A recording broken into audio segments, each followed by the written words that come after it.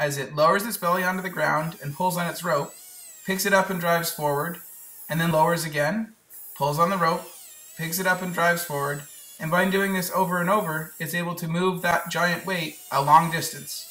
If you were to look at the bottom of the robot under a microscope, you'd see a bunch of tiny, tiny little rubber hairs. As you pull on them, they stick to a surface, and as you let go of that pulling, they pop right back off. Zooming out, you can see that all these little tiny rubber hairs are on the bottom layer of the robot. Now let's look at all the pieces of the robot that allow us to decide when we want to stick to the ground and when we want to walk around.